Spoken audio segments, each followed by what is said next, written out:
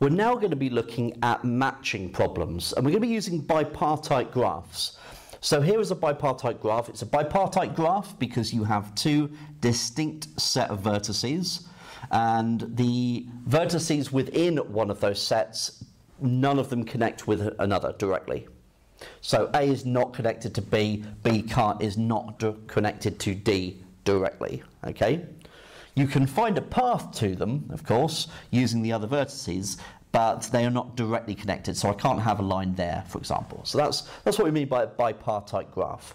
And essentially what this is, is it could represent four people, A, B, C, and D, with four jobs, one, two, three, and four. And the arrows, well, sorry, the, uh, the arcs or the edges represent um, that worker A can do job one or job three. B can do job one or job two. C can do job two, three, and four, and D can do job two and job four. And what we're looking for is a maximal matching, uh, or potentially a complete matching if it's available. Okay, that's what we're trying to do. Uh, I, hopefully, there is a way of matching each worker to a job. Uh, in some cases, that's not always possible, so you're trying to find the best possible outcome, and that would be a maximal matching. So how can we write that as a linear programming problem? Well, we're going to return to indicator variables. So what we used in the first, um, first few, well, the first uh, couple rather, the shortest path and longest path uh, LP solvers that we looked at in this section, um, where that means that A1 can either take on the value 1 or 0. 1 if it's being picked, 0 if it's not. Okay, so essentially what I want to do is my objective function is to maximize the sum of all of the edges. So A1 plus A3 plus B1 plus B2 plus C2 plus C3 plus C4 plus D2 plus D4. So this is the sum of all of the edges, okay, um, that I can pick.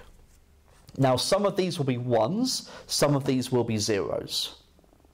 So essentially and hopefully I can find uh, this being equal to 4, okay? Because I want each worker to be uh, mapped to just one uh, of the jobs. So, I need the constraints that will allow that to happen. So, subject to. Now, worker A can only do two jobs. Uh, so, one or three okay? But I only want them to do one of them. So I want worker A to either do one or three. Okay? But they can't do both, and I don't want neither, potentially. Okay? I don't want neither, but it might happen. So I've got to uh, take account of that, because if I said that was equal to one, then that would mean one of those would have to be 1 and the other would have to be 0. Okay? And that forces A has to do one of those two jobs. But because we're looking at a maximal matching as well, we want to make sure that um, the way that we write this down uh, attributes to that and uh, the way we work it down and we write it down works for all scenarios. Um, we can't guarantee that A will be picked. So we're going to have to have that as less than or equal to 1. It can't be anything greater than 1, so it can't be 2, otherwise worker A can do both of them. Okay, which we don't want to have. So that means that we're either going to have 0 plus 0, 1 plus 0, or 0 plus 1. Okay, so the same problem goes with B.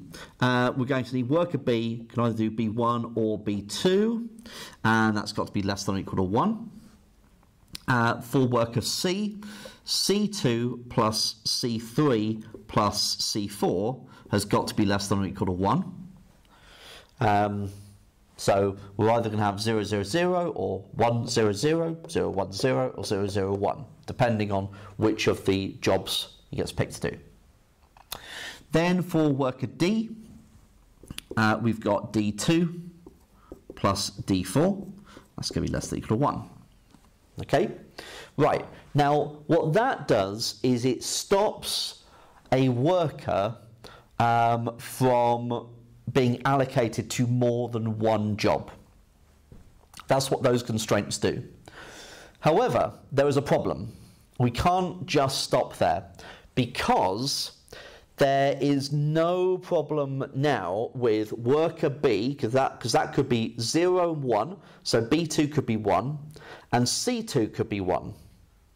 But I don't want two workers doing the same job. So I must have a constraint on each of the jobs as well. So I need A1 plus B1. So the two workers who can do job 1, I only want one of them to be picked. So at most. So that's got to be less than or equal to 1. And for job 2, we've got B2 plus C2 plus D2. Three people who can do it, but I only want one of them at the most. Then for job 3, we've got A3 plus C3, and that's got to be less than equal to 1.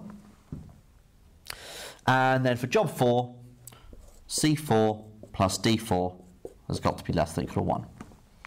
And so these are the constraints required uh, in order to have this as a linear programming problem that will solve it.